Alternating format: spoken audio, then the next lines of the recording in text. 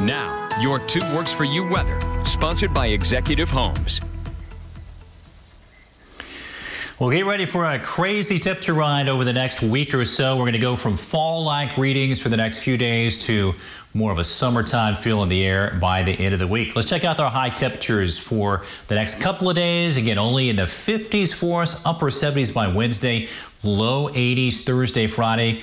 Average high this time of year is about 78. And yes, it's so cool that we're going to set records today for the record low high temps, if that makes sense. As the record 58, we're going to be below that today at 54.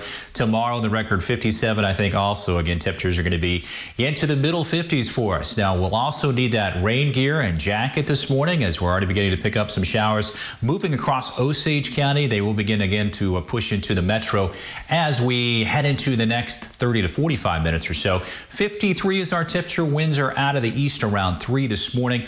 Again, not much of a warm up expected for us. 7 o'clock, we see the shower activity across the metro throughout areas of southeast Kansas. So this is going to be one wave that pushes through. I think it will be gone by about lunchtime today. But look at the temperatures as we head throughout the late afternoon hours. Only maybe only in the 40s throughout Bartlesville. Pawhuska, Coffeyville, and by 5 o'clock today, temperatures mid-50s in town, low 60s, so a little bit more mild south of I-40.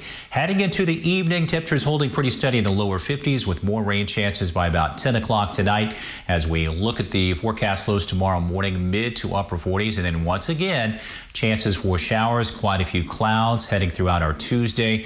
Should see maybe a little bit of a break later on in the afternoon, but again, those temperatures unseasonably cool for us into the 50s. As we look at your forecast heading into Wednesday, we are in a level one or marginal risk. There's going to be some activity form along the dry line across western Oklahoma for Wednesday afternoon. And then a few of those storms could move our way heading into Wednesday night, but certainly a much more active weather pattern for us.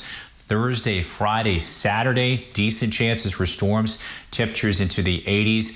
And then a front should begin to push through as we head into our Sunday. Right now, just a slight chance for a shower. So uh, we'll have to bundle up for the next few days and then get the rain gear out pretty much for the next six or seven days. Corey.